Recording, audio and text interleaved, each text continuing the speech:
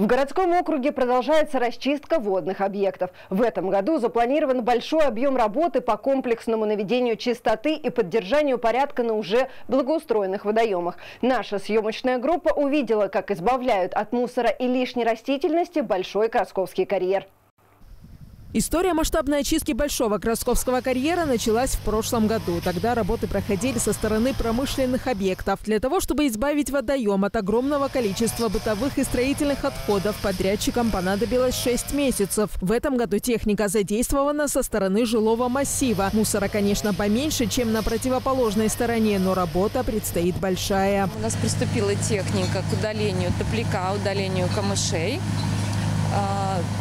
Одному Богу известно, наверное, что мы достанем со дна, это время покажет. Также будут удалены поваленные деревья, после урагана недавно прошедшего. Ну и весь мусор из берегов, который возможно будет собрать, мы соберем.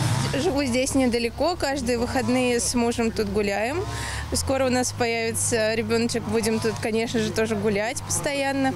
Очень рада, что началась очистка территории. Надеемся, что местные жители сохранят это и не будут тут мусорить, потому что можно наблюдать, что очень много мусора, и люди тут как раз-таки это все убирают. Мы очень рады.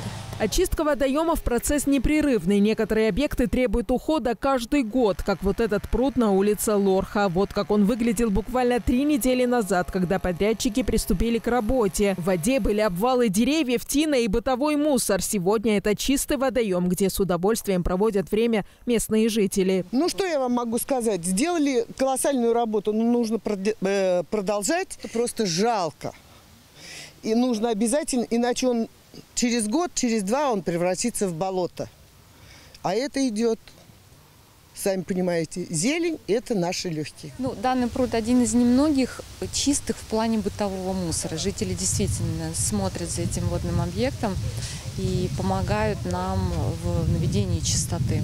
Но в силу того, что это живой водный организм, и он требует внимания и регулярной расчистки, поэтому э, в этот раз мы убирали очень много тины, большое количество камыша, водной растительности, пруд зацвел. Он прям очень нуждался во всех этих работах. Летом водоемы и территория вокруг них требуют особого внимания. На объектах, которые привели в порядок в прошлом году, проводят уборку после каждых выходных. А в плане по комплексной санитарной расчистке на текущий год 6 водоемов. Луиза Игиазарян, Сергей Гвоздев, телеканал ЛРТ.